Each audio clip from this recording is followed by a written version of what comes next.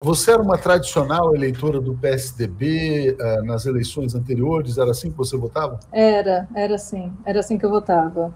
Que é o comportamento meio que padrão da, da elite de São Paulo, de outras cidades também. Mas quando você toma essa decisão, como é que seus amigos, suas amigas reagiram? Você foi muito cobrada, muito patrulhada ou não? Sim, sim. Assim. Estranha no ninho, tipo, você nos traiu. É, mas, mas eu acho que eu choquei menos de ter essas, esses arrombos histéricos. Eu choquei menos porque justamente o meu processo ele veio vindo. Então eu parei, é, eu não deixava as pessoas quando vinham com história de PT o que mais roubou, Lula ladrão, seu lugar é na prisão, aquelas chavõezinhos bem infantis, bem de quem está no meme, né, na superfície, que não que não, não desceu, né? Aquele que leu a orelha do livro, mas não leu o livro. Então, é, eu acho que como eu já comecei nessa, não, olha, veja bem, não é isso. Ah, você virou petista agora? Eu falo, não.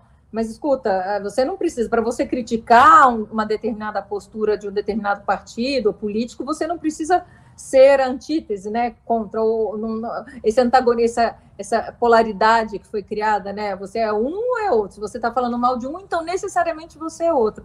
Então, eu, eu fui aos poucos, então meu processo foi ele foi paulatino. Então, eu fui sentindo. É, foi um sentimento mútuo, porque ao mesmo tempo que eu não queria mais estar com essas pessoas, essas pessoas também é, não queriam estar comigo, né? Porque quem começou primeiro, eu acho que é, o meu processo de não querer estar com essas pessoas era muito forte, a ponto de eu sair de grupos que eu mesma criei. É, tipo, vai, um grupo do beach tênis lá no condomínio. Eu, eu saí do grupo, porque era tanta ignorância, era tanta, tanto egoísmo. Você fala, meu Deus do céu, como é que essas pessoas elas eram assim?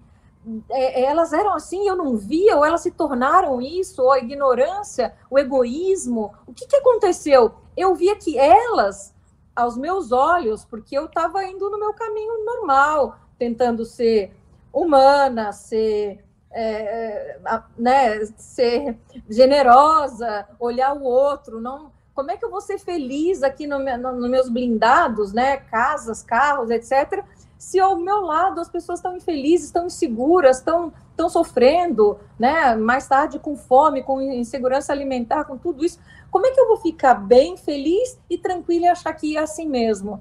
Não dá. Então, assim, eu posso é, não está resolvendo os problemas, mas eu estou tentando estar tá do lado certo da história, né? E eu não, não, não, não entendi isso. Então, assim, eu acho que houve um movimento meu de afastamento, e óbvio que essas pessoas também sentiram isso e também não, não, não tinham vontade de conviver com a petista caviar. Você fez amizades melhores quando você adotou? Quer dizer, porque primeiro é um choque, né? Tipo assim, ah, virou comunista, virou isso, virou aquilo mas você percebe que você conheceu pessoas mais interessantes?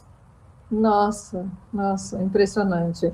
Eu falo que por vários motivos eu estou dividindo meu tempo entre São Paulo e, e outra cidade, né? Eu não fico só em São Paulo, eu moro metade metade.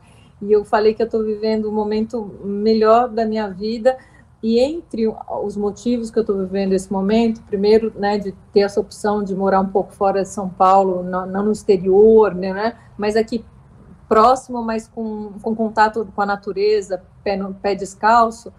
Então, é, um dos motivos é esse. O outro foi justamente essa mudança de, de circuito, mudança de estilo de vida, obviamente, mas mudança de convivência porque eu tinha pessoas que eu achava que eram pessoas bacanas, tinha uma troca legal, mas depois você acha aquilo, né? Porque aquele é o teu nível, o teu patamar. Depois que você muda e conhece outras pessoas, com, com pessoas com cabeças né, mais cultas, mais é, humanas, mais sensíveis, mais sensatas, mais coerentes, mais, mais, mais tudo. Você fala, meu Deus do céu, que maravilha, né? que, que, que coisa que eu estava perdendo, que bom que eu, que eu consegui, que eu alcancei, né? Não que as pessoas todas, não, de novo, né? Não que as pessoas todas não fossem, não sei o quê, mas é, não fossem inteligentes, tudo. mas mesmo algumas desse meio que eu, que eu frequentava, não são todas que, que continuam nessa coisa do, do egoísmo, do egocentrismo, da desumanidade. Não, isso é uma parte.